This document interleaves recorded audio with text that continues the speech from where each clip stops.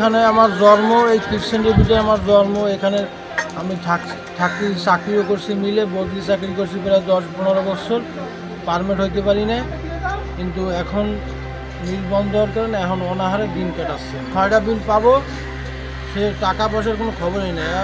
কারা এই টাকা পয়সা সরকার দেশে কিন্তু খাইয়ে ফেলাইছে।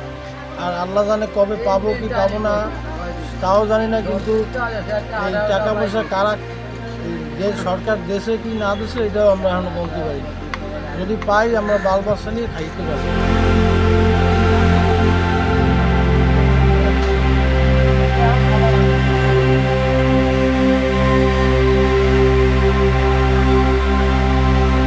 ভালো ছিল মিল বন্ধ হওয়ার পরে এখন লসের পরে আছে।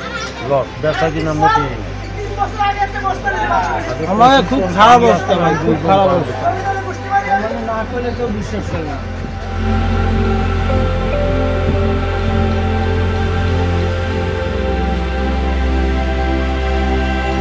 ছয়টা বিল বকেয়া রয়েছে দুই হাজার উনিশ সালের এখনও আমরা পাইনি। মিলটা সরকার হঠাৎ বন্ধ করে দেয়, আমাদেরকে না জানায় রাত দশটার পরে তালা মেরে দেয়।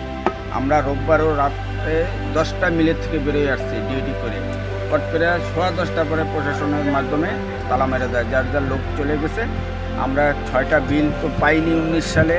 তারপরে আমাদের ঈদের টাইমে ঈদের এক দেড় মাস আগে মিল বন্ধ হয়ে যায়। আমরা পাও না বোনাস। আমরা আট থেকে দশ হাজার টাকা, কেউ পনেরো হাজার টাকা বোনাস পাবো সেই টাকাটা আমাদের সরকার দেয়নি। আমরা খুব অসহায়ের ভিতরে আছি। আমাদের কথা হলো, আমাদের কথা হলো আমাদের মিল কারখানা বন্ধ করে দেয় আমাদের পয়সা দিয়ে দেবে, আমরা গরিব মানুষ। খেটে ফেটে কিছু গাড়ি গুড়ি কিনে চালায় খাব।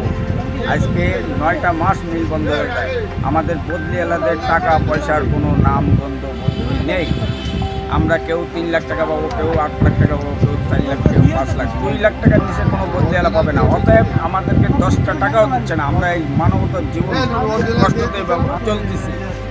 আমাদের মূল দাবি মাননীয় প্রধানমন্ত্রী যেন আমাদের অবিলম্বে বদলি এলাতে টাকাগুলো পয়সা করে দেন।